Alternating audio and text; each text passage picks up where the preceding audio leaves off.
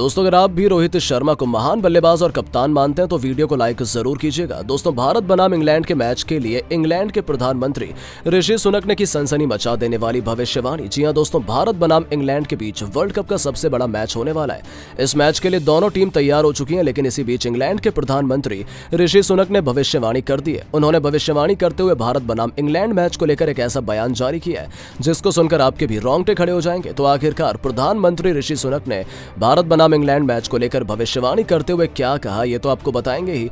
तो जानने के लिए वीडियो को पूरा एंड तक ज़रूर देखिएगा, लेकिन उससे पहले आपको क्या लगता है? भारत बनाम इंग्लैंड के मैच में आप किस टीम को सपोर्ट करेंगे, अपनी राय नीचे कमेंट बॉक्स में ज़रूर दें। दोस्तों वनडे वर्ल्ड कप काफ़ी ज़्यादा रोमांचक अंदाज में आगे बढ़ रहा है, जहाँ पर भारतीय टीम अपने ज़बरदस्त फॉर्म में है, और इस समय अंक तालिका में सबसे ऊपर है। हालाँकि भारतीय टीम ने अपने पाँच मैच खेले हैं, और सभी पाँच मैचों के अंदर भारतीय टीम ने जीत हासिल की है।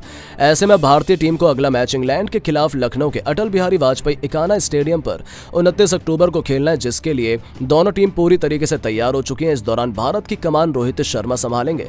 तो वहीं इंग्लैंड की कमान जॉस बटलर के हाथ में रहने वाली है, लेकिन इसी बीच भारत और इंग्लैंड के बीच होने वाले वर्ल्ड कप के सबसे बड़े मैच से पहले इंग्लैंड के प्रधानमंत्री ऋषि सुनक ने भविष्यवाणी करते हुए बयान जारी कर दिया है, जिसमें इंग्लैंड के प्रधानमंत्री ऋषि सुनक ने बयान देते हुए कहा है कि भारत और इंग्लैंड के बीच वर्ल्ड कप का मैच सबसे ज़्यादा रोमांचक मैच होने वाला है। भारत और इंग्लैंड के बीच ये मैच दुनिया को अपनी तरफ़ आकर्षित कर लेगा, क्योंकि इस मैच के अंदर दोनों टीम जीत दर्ज करने के लिए पूरी तरीके से बेताब है।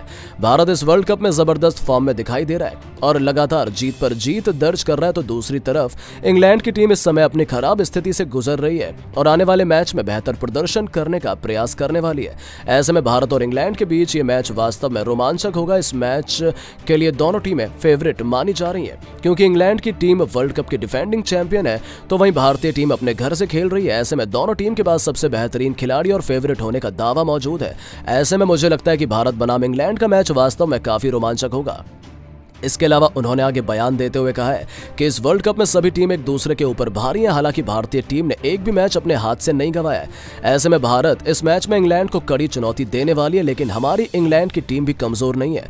इंग्लैंड की टीम ने डिफेंडिंग चैंपियन होने का टाइटल अपने पास रखा हुआ है। साथ में इंग्लैंड की टीम का भारत के खिलाफ रिकॉर्ड भी बेहतर है। हालाँकि इंग्लैंड की टीम के पिछले कुछ मैच खराब रहे हैं, लेकिन इस बार इंग्लैंड की टीम भारत को हराकर अपनी पुरानी लय में लौटने का पूरा प्रयास करेगी। इसके अलावा उन्होंने अंत में बयान देते हुए कहा है कि इंग्लैंड की टीम के पास ज़बरदस्त ऑलराउंडर है। तो दूसरी तरफ़ भारत के पास ऑलराउंडर की कमी साफ़ तरीके से देखी जा रही है। ऐसे में इंग्लैंड की टीम यहाँ पर भारत के सामने मजबूती हासिल कर लेगी और आने वाले मैच में भारत के खिलाफ बेहतर प्रदर्शन करते हुए भारत को उसकी असली औकात दिखा देगी। तो दोस्तों, आपको क्या लगता है, इंग्लैंड के खिलाफ भारतीय टीम को जीत मिल सकती है या नहीं? अपनी राय नीचे कमेंट बॉक्स में ज़रूर दें और ऐसी शानदार खबरों के लिए चैनल को सब्सक्राइब ज़रूर कीजिएगा। धन्यवाद।